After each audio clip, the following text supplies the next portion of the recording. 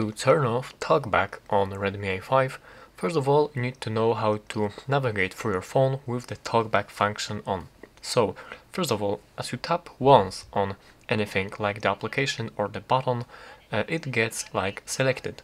So, to use the button or to open any application, you will have to double tap on this application after it is selected.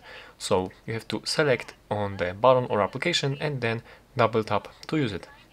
And also, uh, when you are swiping on or scrolling, you are not just sliding with your one finger because it will not work. You have to slide with two fingers. So, as you can see now, we are sliding kind of. Yeah, as you can see now, we have opened this um, app drawer and it is working with two fingers. It will not work with one finger.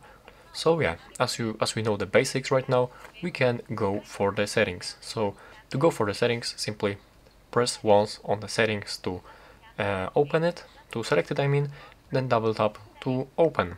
From here you have to scroll uh, with two fingers all the way down uh, until you find the accessibility actually. So scroll a little bit up and here's the accessibility. So press on it once, double tap to enter it. And right here we have the talkback function. So select it, double tap to open, and there is the switch to disable the talkback. So press this one and double tap this switch. Now tap on the turn off and double tap this button to disable the talkback function and as you can see now it is disabled. That is how you can do this.